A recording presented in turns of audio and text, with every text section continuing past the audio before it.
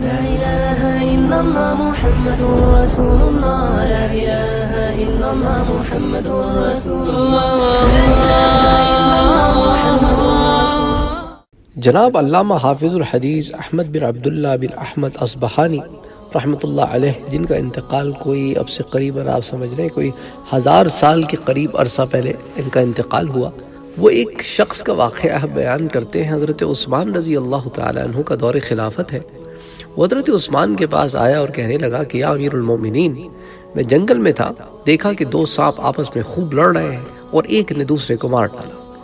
پھر میں اس جگہ گیا جہاں بہت سے سانپ قتل کیے ہوئے پڑے ہوئے تھے۔ تو میں نے محسوس کیا کہ ان میں سے ایک بھینی بھینی خوشبو آ رہی ہے۔ تو میں نے ہر ایک کو سونگا تو ایک زرد رنگ کے سانپ میں سے مجھے خوشبو آنے لگی۔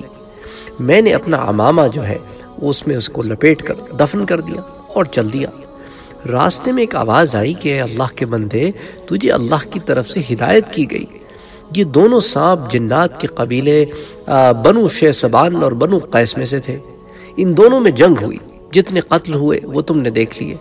انہی میں سے ایک شہید جن کو تم نے دفن کیا، یہ وہ تھا جس نے خود رسول اکرم صلی اللہ علیہ وآلہ وسلم کی زبان سے وہی الہی سنی تھی۔